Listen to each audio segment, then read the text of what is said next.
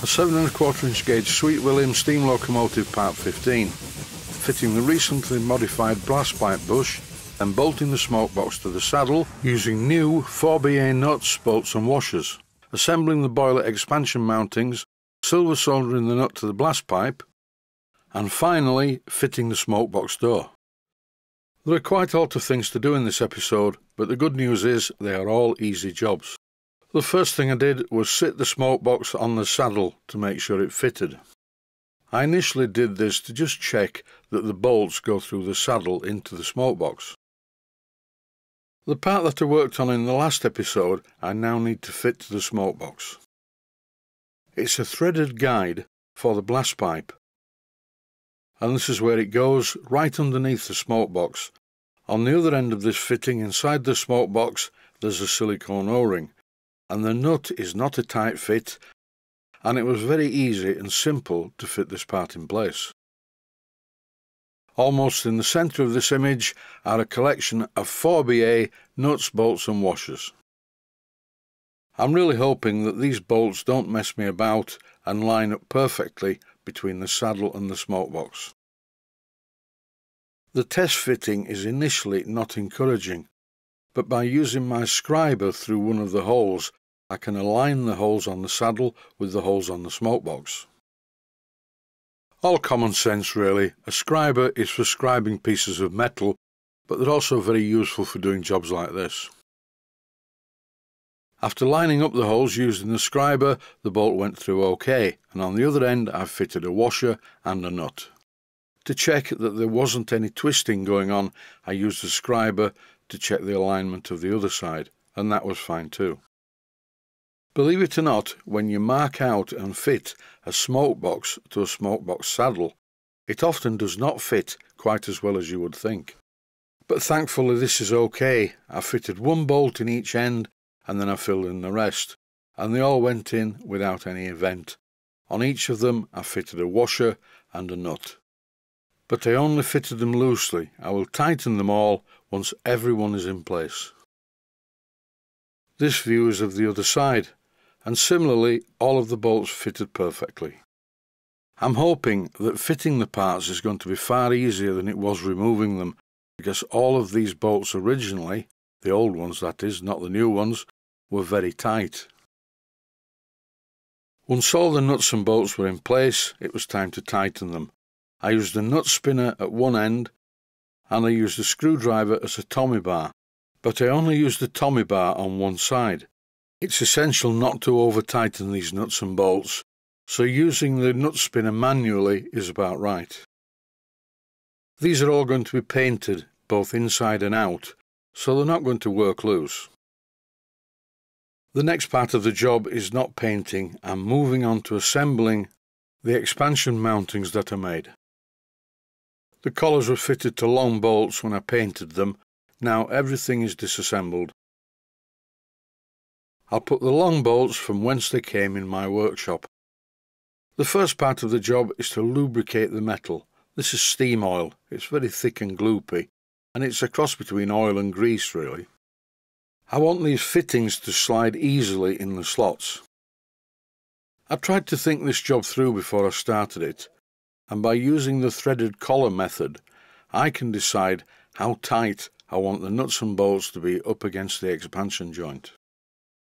When I tighten the small Allen caphead bolts which will hold the boiler to the modified larger bolts will not change the amount of pressure that the collar and the bolt head put on the mounting bracket. Here I'm just checking for freedom of movement and it's going to be fine. Even though I forgot to remove the paint on one of these brackets before it dried, there's still a bit left, but it should be okay. And here are the brackets ready to bolt back into the frames.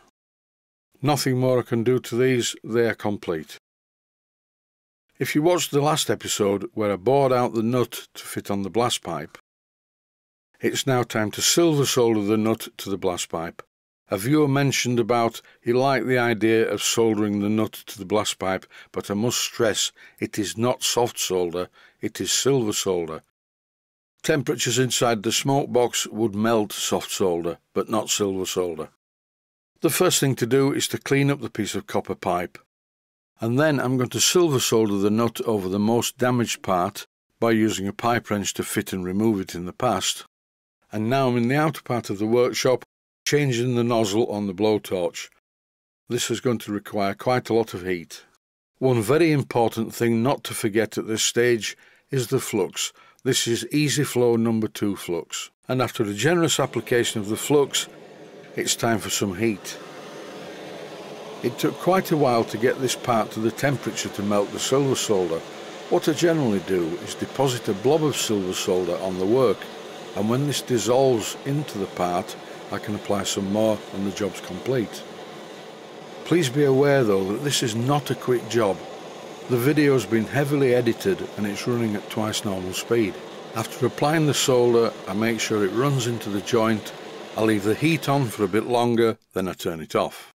I'm not going to quench this because it doesn't fit in my water pot. I'll let it cool naturally. In case you're wondering why it's smoking, this blast pipe was fitted to the engine and it's the remains of the oil inside the blast pipe, which is just smoking from the heat.